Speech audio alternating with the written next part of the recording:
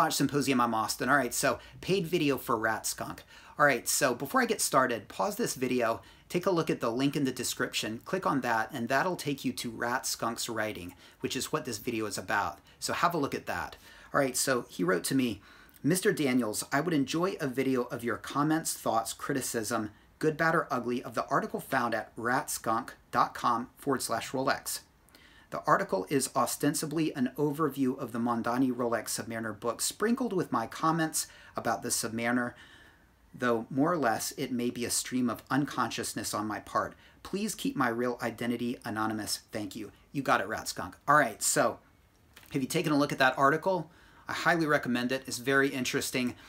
What are my overall impressions? Well, it's as if a watch aficionado has cracked open his skull and let pour forth his eloquent ruminations of Rolex and the Submariner model.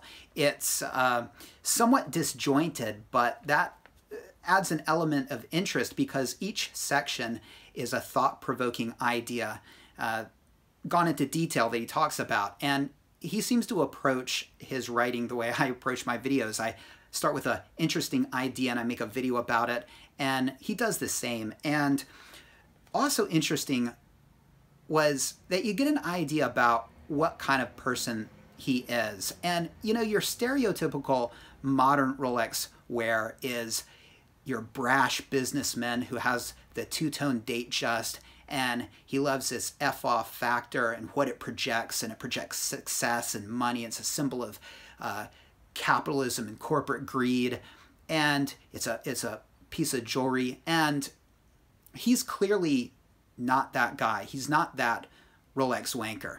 And I thought it was interesting because as we will see, he is much more interested in vintage pieces and pre-ceramic pieces. And so, you know, I think there's a connection between that type of watch aficionado and ones that go for the more modern pieces. And he's clearly educated. He's a good writer. He has a wide vocabulary. And it's clear that he's he's thoughtful and contemplative and has the heart of an artist. And throughout his writing, he has literary quotes interspersed and he makes mention of Shakespeare and he's a fan of the arts, particularly Jackson Pollock. And so he is the kind of guy that I'm not surprised is into vintage pieces and appreciates uh, appreciates Rolex for uh, for the bygone era of the tool watch of which they were, and unfortunately or fortunately are no longer. Um, now he talks about getting his Mondani books and and why he he writes, "I bought the book to tutor myself on two vintage Submariner models." I am keen on acquiring in the next two to three years, namely a 5513, that's a no date sub, and a 1680, which is a date sub. That's the very first date sub.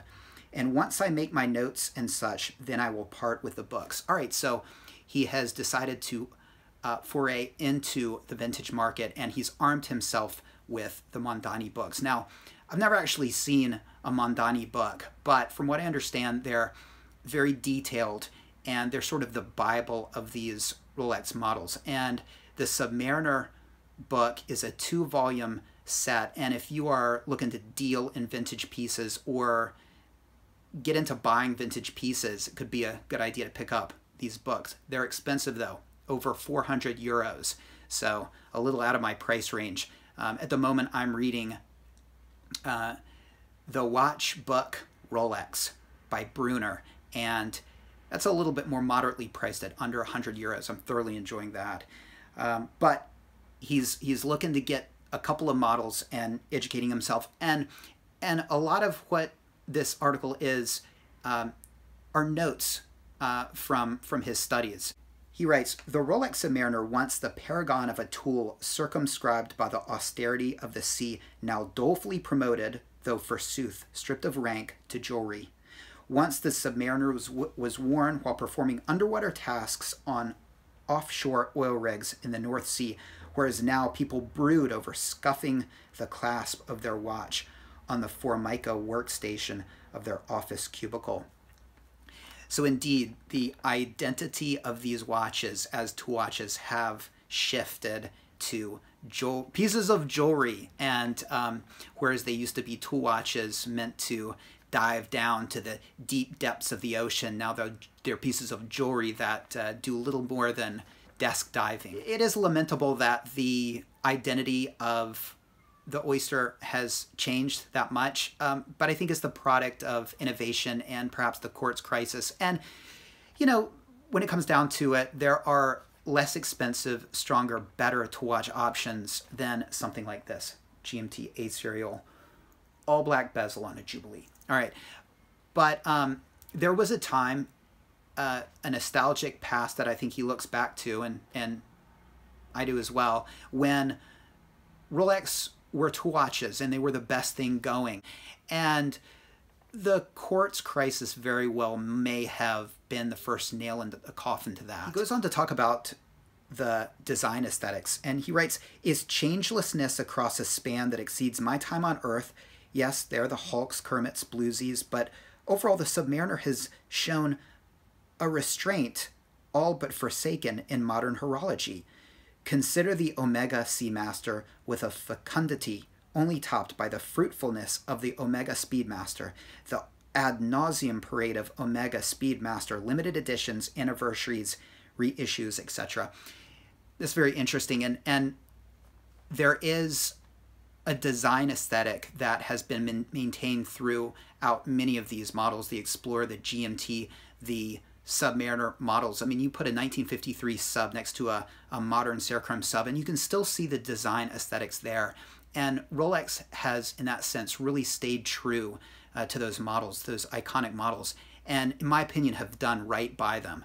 And, you know, you look at Rolex, which he mentions, not Rolex, I'm sorry, you look at Omega, which he mentions, and they uh, have a more exploitative approach. And in the end, I think it damages what is is the central aesthetic of the Speedmaster or the Seamaster, and it's all for a buck. Uh, Rolex, of course, is after something a little bit different. Uh, I think they're more after protecting the brand versus uh, the short-term gains uh, financially of um, exploitive design practices. And so for that reason, maybe maybe they're just trying to protect the brand, but what that means is is protecting uh, the integrity of the design aesthetics of these watches. And you got to respect them for that. And I do appreciate Rolex for that. And you might not like the way they've gone with the Cerachrome. Um, we'll get into that in a minute. But they have certainly um, been true to the original design aesthetics uh, of these two watches. The next paragraph I think is my favorite. I really identify with, with this sentiment. He writes, I confess that I find the modern Rolex Submariner an inelegant, almost clumsy iteration of the Submariner as compared to vintage models and pre-ceramic models. Ironically, at least to me, as the Rolex Submariner has degenerated into more or less luxury jewelry, the Submariner has become brutalist looking, while the vintage tool watches look more debonair every day. Absolutely. I mean,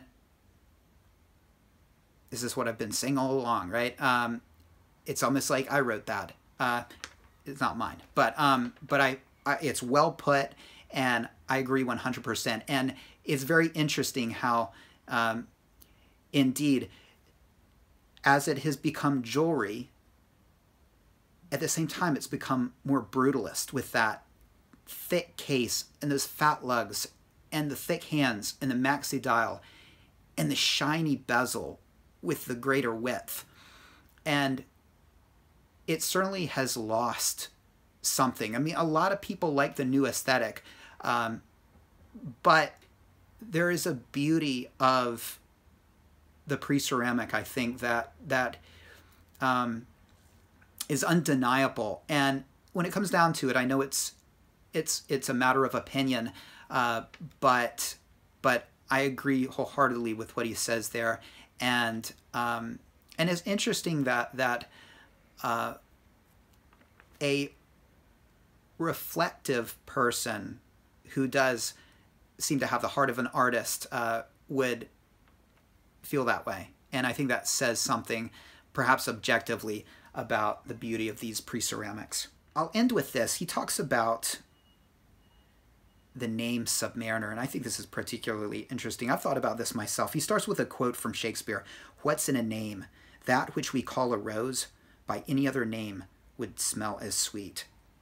He writes, Juliet may have felt that way about Romeo, but is it true for the Rolex Submariner? Would the Submariner smell as sweet today if the original name was Seawolf, Lion Shark, Captain Cook, Sea Slug, Hydro Conquest, Snorkel, Frogman, Sea Strong, Trident, Super Ocean, Seahawk, Aquascape, Ocean Avenger, Amphibia, or Scuba Dragon? Submariner seems a peerless name for a dive watch.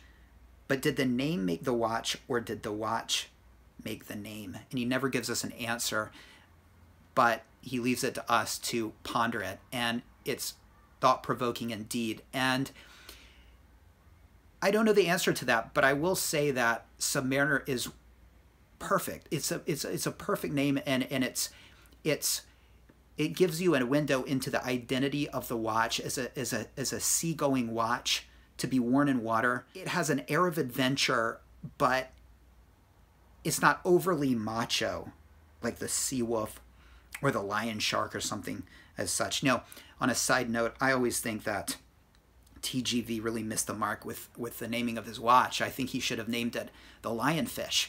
The lionfish is a real fish. It uh, looks like a lion and, and has spines that sting, and it's a beautiful fish.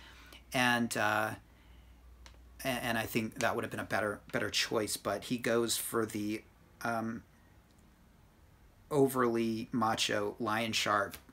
Um, as if to compensate for something.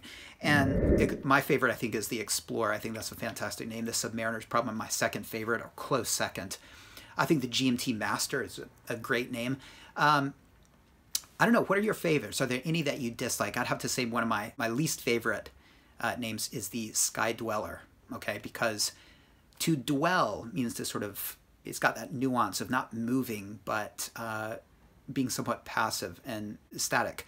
And uh, for somebody flying through the air at great speeds, dwelling, I don't know, sky dweller just doesn't do it for me. Whereas sea dweller sort of makes sense because to be in those, the saturation chambers uh, for saturation diving, uh, you are you really are dwelling deep down into the sea. But uh, yeah, anyway, um, I'll let you guys debate that. Uh, would a submariner be a submariner without being called a submariner? Well, oh, it's a hard one. Um, I guess we'll just leave it that it's a near perfect name. What happened? Did he get his uh, vintage watches? Well, in the end, he writes, I do not have the fortitude to enter the rat trap strewn rabbit warren of vintage Rolex. And neither do I. Um, if you're John Mayer and you can afford to make a few mistakes, so be it. But uh, I can't, and so for that reason, I like the turn of the millennium models. I think these neo vintage models offer a usability, um, yet the vintage aesthetic that that uh, that I love and that this gentleman seems to appreciate as well. Ratskunk, thanks for your question. Thanks for the link to your your writing. I thoroughly enjoyed it, and uh, if you write more, uh, send me another link to it. I'd love to read it. Um, do you want a video for yourself? Link in the description to my PayPal account. Send me 10 bucks. Put the question in the description to the PayPal payment or uh, send me an email. Link in the description to my email address and I'll make a video for you. Take care. Thanks for watching. See you next time.